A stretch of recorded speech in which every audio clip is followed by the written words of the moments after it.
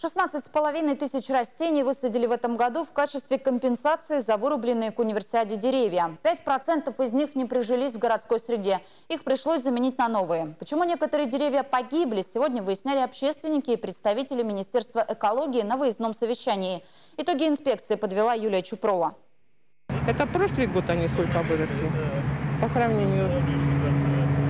А в этом году вот столько. При норме роста в 30 сантиметров в год эти деревья выросли всего на 3. Экологи констатируют, без должного ухода деревья вскоре совсем перестанут расти, а через год-два и вовсе засохнут. Все из-за повышенного содержания вредных веществ в воздухе. Больше всего растений гибнет по соседству с загазованными трассами. Втористое соединение и, конечно, ну, соляная кислота, если 17 ПДХ, э, гидрохлорид при соединении с водой, конечно, ожоги идут. Хуже всего в городской среде, особенно около дорог, приживаются именно хвойные растения. Например, вот эта сосна уже через два года осыпется полностью, поэтому специалисты рекомендуют высаживать в черте города именно лиственные породы, такие как березы, яблони и сирени. Обсудить меры по спасению деревьев собрались общественники, министр экологии Владимир Часовитин, представители Департамента городского хозяйства и Управления зеленого строительства. Главная цель мероприятия – сформировать новый, более более качественный подход к компенсационным посадкам в городе. Самый главный тезис и самый главный подход, который я могу уже сейчас озвучить,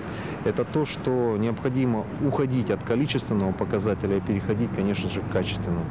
Еще вывод, который сегодня уже однозначно мы, мы сделали, это то, что необходимо наладить порядок передачи высаженных территорий обслуживающим организациям. По сути, важнее всего правильно выбрать участки и ухаживать за посадками. Комиссия объехала и осмотрела четыре разных места. Где-то, например, в сквере на Копылова все участники инспекции остались довольны состоянием и темпами роста деревьев. На Ключевской на участке у четвертого моста ситуация иная. Но разрешить проблему, уверены специалисты, можно. Мы считаем, что необходимо ввести ответственность за те деревья, которые садятся. Ответственность и департамента городского. Ну, в общем, каждое дерево, за него должен кто-то отвечать. В следующем году планируется высадить еще 30 тысяч деревьев. Основной упор сделают на лиственные породы. А гарантийный срок по уходу за растениями увеличат до трех лет. Юлия Чупрова, Станислав Смирнов. Седьмой канал.